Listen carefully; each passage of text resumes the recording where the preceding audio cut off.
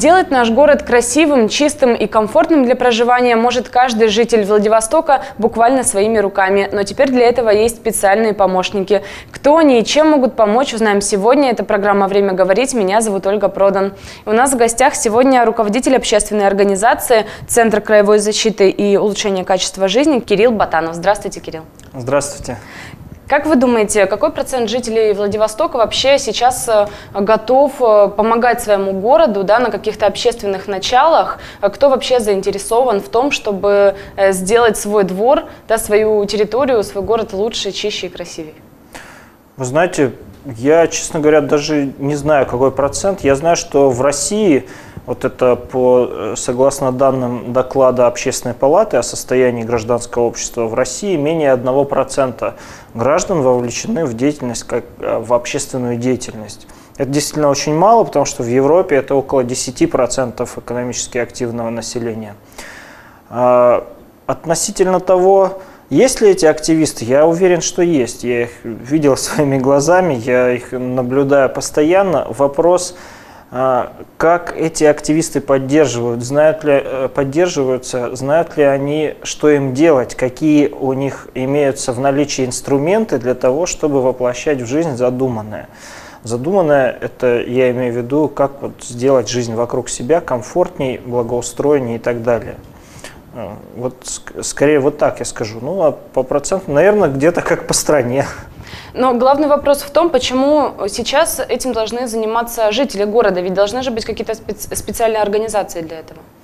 Вы знаете, слово «должны» здесь, наверное, не совсем корректно, а, потому что есть заинтересованность, да, вот кому интересно жить хорошо? Ну, наверное, нам с вами, да, вот мне интересно, чтобы у меня во дворе был порядок, да, было чисто, были какие-то газоны, чтобы там машины на газонах этих не парковались, были заборчики. Мне интересно, чтобы у меня там камеры стояли, наблюдения для безопасности, там меня, моей семьи и так далее. В этой связи есть предложение начать взять на себя ответственность за часть каких-то вещей, да, и начать обустраивать жизнь вокруг себя собственными силами. Но при этом а, мы говорим о том, что власть, государственная власть и органы местного самоуправления, вот здесь я, наверное, употреблю слово «должны», а, оказывать поддержку таким инициативным гражданам. Поддержка это может заключаться во многом, в представлении каких-то э, ну, каких методик. Может быть денежная поддержка из бюджета, да? может быть э, поддержка ну, материальная, скажем, но не денежная, да, там какими-то материалами, еще чем-то. Да? А, в любом случае, а, как сказать, э, ну и дорогу осилит идущий, да, и важно сделать этот первый шаг, важно показать и власти, что граждане готовы, да, и, соответственно, и власть должна сделать навстречу шаг, показать, что они готовы слушать э, граждан, да, и помогать всячески им а, в их деятельности, в их инициативе. Вот, ну, как-то так. Ну, хорошо, если мы поняли, что в нашей стране да, институты гражданского общества не сильно развиты, э, то ваш центр, он как раз-таки и помогает э, в этом вопросе. Расскажите вот про центр, какие задачи у него, куда жители могут обратиться? Ну, изначально, знаете, центр, как сказать, была некая эволюция, э, осознанная эволюция деятельности этого центра. Изначально, да, он э, формировался как э, инструмент помощи гражданам в решении каких-то проблем. Да? Ну, это стандартная практика, когда кто-то обращается, а кто-то более там, сведущий в некоторых вопросах начинает, начинает эти вопросы решать. А, через какое-то время произошло некоторое изменение э, понимания, и возникло понимание, что граждане сами в состоянии решать вопросы. А, другой момент, насколько они способны, насколько, они, насколько у них есть инструментарий, насколько у власти есть желание да, а, эти, эти, в решении вопросов помогать. Да, и сейчас деятельность центра, она наверное, в большей степени направлена на обучение, да, на создание условий со стороны органов государственной власти, то есть мы проводим какие-то консультации совместные, да, а, с тем, чтобы а, вот та гражданская инициатива, которая появляется у людей, чтобы она находила свое воплощение в, как, в конкретном результате. Вот, э, вот таким образом. Хорошо, а есть э, какая-то структура, последовательность, э, что должны сделать жители там, определенного дома, да, чтобы сделать какую-то себе клумбу, камеры поставить, там, дорожку удобную? Ну, для начала самое важное – это начать общаться с соседями. Это вот, Большая вот, проблема, Это самое важное – начать общаться и осознать свои потребности.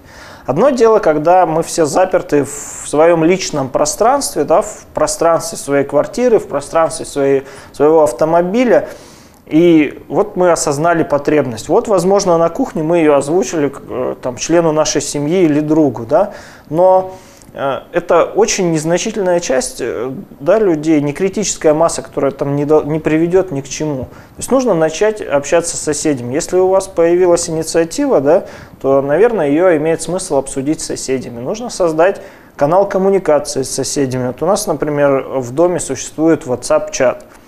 И, на весь дом? На весь дом, да. И его вообще существование, оно, ну, например, он, он был создан с целью решить один какой-то вопрос, но по факту находится уйма вопросов от того, что кто свет в салоне машины не выключил, да, пишут, там кто-то привозит э, какую-то продукцию с подсобных хозяйств и реализует среди жителей дома, да, а решаются вопросы там о строительстве детской площадки, решаются вопросы об обустройстве там спортив, спортивной площадки, просто э, главное было начать общаться. Вот наличие этого канала, да, оно предполагает уже некую деятельность. Следующим моментом, ну, все-таки э, тема, э, ради которой я пришел сюда, это территориальное общественное самоуправление. А вот следующим шагом будет уже объединение нескольких домов да, уже в какую-то большую, более большую там, структуру. Почему? Потому что э, общая социальная инфраструктура может быть не у одного дома, да, то есть там не у одного человека. Это, например, какой-то ну не знаю, каток, да, хоккейная коробка, или там большая детская площадка, а, или сквер, или парк, да, это часть социальной инфраструктуры некого микрорайона, да, вот там какого-то массива. И вот жители, да, могут, объединившись, взять на себя ответственность за эту территорию и начать приводить ее в порядок. Начать не только приводить в порядок, например, начать проводить там какие-то мероприятия, это могут быть какие-то культурные мероприятия, спортивные мероприятия. А, в общем, каждый из активных граждан может найти себя вот э, в этой э, коммуникации с такими же гражданами, как он. То есть мы уже говорим не только об общении и коммуникации между э, жителями одного дома, а общаясь с соседями по району также. Да, именно вот микрорайон, например, да, где есть что-то, нечто объединяющее людей. Гершельде это может быть какой-нибудь сквер, да, там э, вокруг пляж. защиты которого объединились люди. Это может быть пляж, да. Э, это, опять же говорю, может быть хоккейная коробка, то есть, э, ну, собственно, все что угодно, парк, да. Есть поселения, где люди, объединившись, сделали себе парк победы, даже притащили какой-то ржавый танк, очистили его и поставили. Ну, да, действительно, есть такой опыт. Главное начать эту деятельность. И самое интересное, что закон с 2003 года еще дает определение такой форме самооргани... самоорганизации граждан по территориальному принципу. Это вот как раз территориальное общественное самоуправление. Это статья 27 131 закона, которая определяет, а, как граждане э, организовываются в эти территориальное общественное самоуправление и что они там могут делать.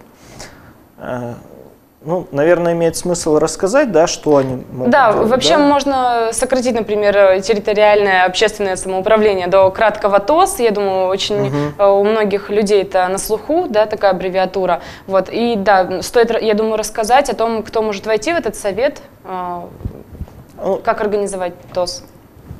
Это не совет, да, это, то есть территори... ТОС, по сути, объединение граждан с органом управления. То есть, э, как в любой там, некоммерческой организации, выбирается орган управления, это может быть, например, председатель и совет ТОСа, да, э, к примеру.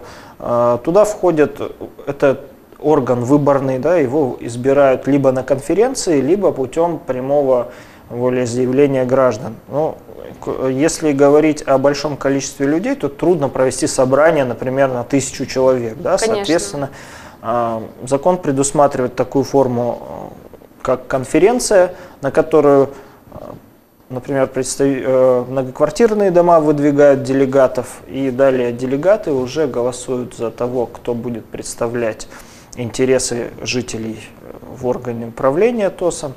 А, определяют на конференции, уже определяют, принимают границы, принимают устав и дальше направляют в органы местного самоуправления для согласования эти документы. Вот. А, любой активный гражданин, по сути, может стать э, у руля ТОС. Ну, то есть главное желание, главное а, умение объединить вокруг себя людей. А правда ли, что даже маленькие жители, ну так, подростки, то есть э, от 16 до 18, да, могут э, принять участие? Да, ТОС – это форма, которая, она не касается собственности, она касается не, ну, то есть даже жители с 16 лет, проживающие на территории, могут голосовать за создание ТОС. Действительно, в этом есть отличие, это даже несовершеннолетние граждане могут принимать в этом участие. Они же могут, наверное, и свое какое-то отдельное создать э, сообщество. То есть э, хочется понять, это должно быть одно, например, э, сообщество, один ТОС на один район, или их может ТОС на территории один. Один. Да, это, ну, то есть границы не могут пересекать границы другого ТОС, внутри ТОС не может быть организован другого ТОС, но я вот недавно видел примеры, как внутри одного организованного ТОС находили поддержку и вот э, находили выход все гражданские инициативы, включая молодежные. То есть кто-то, это я сейчас говорю о городе Биробиджане, где я был на межрегиональной конференции по ТОСам как раз, э, нас возили на экскурсию. Так вот, внутри одного ТОСа есть э, молодежный спорт, кто-то занимается молодежным спортом, есть те, кто занимается благоустройством, есть те, кто занимается патриотическим воспитанием, есть те, кто проводит культурные массовые мероприятия, есть те, кто занимается тем, что организовывает ярмарки для того, чтобы люди там свой урожай как-то там продавали, да, то есть у них даже лоточки там какие-то есть. Прям возле домов. Есть те, кто создали библиотечный музей, те, кто следят за библиотекой. То есть я сейчас вот столько гражданских инициатив перечисляю, и все это создано в рамках одного, одного территориального общественного самоуправления. То есть, по сути, есть некая структура, готовая вобрать в себя всю гражданскую активность. И вот я считаю, ТОС является как раз замечательным инструментом для этого. Не разрозненно, да, а есть ну, конкретное ну, юридическое лицо, да, который он может быть организован в форме юридического лица, да, есть юридическое лицо, есть органы управления. Э, Все, пожалуйста, то есть дальше граждане объединяются, каждый по той активности, которая ему ближе, дороже там, и так далее. Я думаю, что стоит уточнить, что э, в ТОС э, могут попасть также и люди, которые просто живут в квартире, которые не являются собственниками жилья. Да, это очень, это очень важный вопрос. Почему? Потому что когда зачастую активные граждане сталкиваются с тем, что невозможно найти собственника. То есть собственник сдает квартиру, дальше арендаторы, которые, э, собственно, не имеют отношения, не имеют права голоса для того, чтобы решать, ну, например, вопросы в ТСЖ. Арендаторы там точно никакого права голоса не имеют. А ТОС – это как раз э, организация э, именно по месту жительства – вот так определяет закон. И это так. То есть, соответственно, те, кто проживает на территории старше 16 лет, могут принимать решения. Кирилл, я сейчас предлагаю сделать небольшую паузу и затем вернуться к нашему разговору. Мы уйдем на короткую рекламу, а после продолжим. Оставайтесь с нами.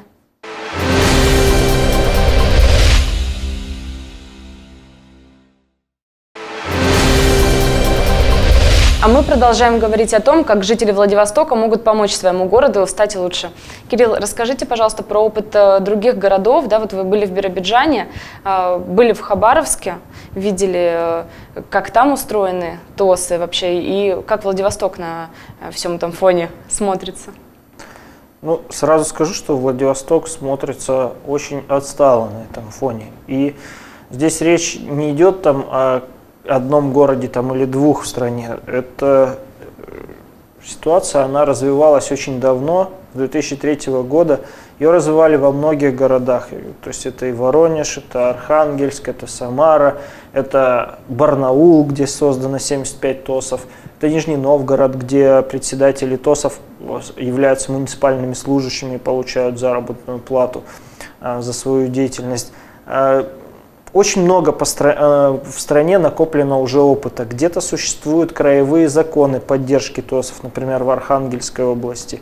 Где-то существуют э, принятые на уровне субъекта, э, на уровне органа исполнительной власти концепции развития ТОСов, как в Хабаровском крае. То есть в 2015 году принята концепция развития ТОСов до 2020 года. Заложено финансирование для развития этой общественного самоуправления. Да? А, и можно сказать, что вот привести примеров можно много. Если говорить о недавних примерах, вот э, вы сказали город Биробиджан, да, действительно, это очень хороший пример организации ТОСов, взаимодействия ТОСов э, с органами местного самоуправления, с органами государственной власти. Это отличный пример культивации вообще всех гражданских инициатив, внутри одно, одного территориального общественного самоуправления. Вот здесь главным было объединить людей, создать этот канал коммуникации и просто предоставить им инструмент э, того, чтобы они свои инициативы реализовывали. И вот во что это вылилось, в огромное количество инициатив. Скажите, а люди вообще за это деньги получают или это волонтерские начала? Это вся деятельность добровольная. Единственное, что я сказал, есть опыт, например, в Нижнем Новгороде, где председателям ТОСов а, оплачивают эту работу. А, например, в той же еврейской автономной области по результатам года могут э, выплачивать активистам ТОСов премии. И, например, вот я видел, как зам председателя правительства области вручал награды э, благодарности представителям ТОСов, то есть ну, активным гражданам, по сути. Вот. В Хабаровском крае э, очень примечательно, очень примечательный системный именно опыт э, становления ТОСа. В 2015 году они были в той же самой отправной точке, что, что и мы здесь. Э, мне кажется, может быть, даже еще дальше. Однако с принятием концепции у них сейчас уже порядка 180 действующих ТОСов имеется. При этом это не просто формальные какие-то организации – то есть э, это действительно рабочие ТОСы, о чем я, я могу об этом говорить, э, исходя из количества проектов, гражданских инициатив, которые они подают. За это время было подано 272 проекта, это много. 272 проекта от 180 ТОСов а, по благоустройству, по организации, настройке своей жизни. А, общая сумма финансирования там уже составила 40 миллионов, при этом 26 это деньги Хабаровского края, именно бюджетные деньги, и 13 миллионов – это софинансирование, будь то жителей или спонсоров, которых жители сами находят для реализации инициатив. То есть мы говорим о каких-то частных э, предпринимателях, которые могут быть заинтересованы в той или иной проблеме? Да, района. конечно, зачастую предприниматель, который ведет бизнес э, на определенной территории, заинтересован в лояльности жителей, которые там проживают. Может быть, он сам проживает на этой территории и хочет э, чем-то помочь этой территории. Я видел очень много примеров помощи предпринимателей а, гражданским активистам. В том же Биробиджане, опять же, э, коробку хоккейную, по сути, построили, там 70%, наверное, это деньги предпринимательские были. А, вообще, э, ТОСы имеют ну, можно выделить, наверное, где-то четыре источника финансирования деятельности и финансирования вот этих гражданских инициатив. Это самообложение, так называемое, когда жители скидываются на то, что они хотят получить. Это деньги а, бюджетные, когда бюджетные деньги могут выделяться в рамках каких-то грантов, например, организовывается конкурс, да, и люди представляют свои проекты. Либо закон еще предусматривает договорную форму, когда а, администрация муниципального образования заключает договор на выполнение каких-то работ. Но это в любом случае все в рамках каких-либо существующих бюджетных программ. Ну, например, там, молодежный спорт или культура там, и так далее. Да, а, то есть еще попасть в эти программы. Да, есть э, спонсорские деньги, когда предпринимательское сообщество, находящееся на территории, может финансировать те или иные инициативы. И есть отдельная строчка и грантовые деньги. А, для того, чтобы участвовать в грантах федеральных, например, да, необходимо, чтобы ТОС был зарегистрирован как некоммерческая организация и существовал более года. Однако это очень большие деньги. Вот я могу сказать, только президентские гранты в этом году, сумма финансирования по президентским грантам составит 7 миллиардов.